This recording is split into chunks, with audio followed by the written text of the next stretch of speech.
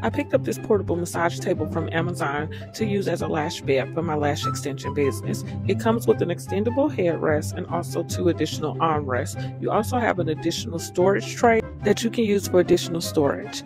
Assembly is easy and fast. This is the perfect table if you see clients on the go, inside your home, or even if you see them in the suite.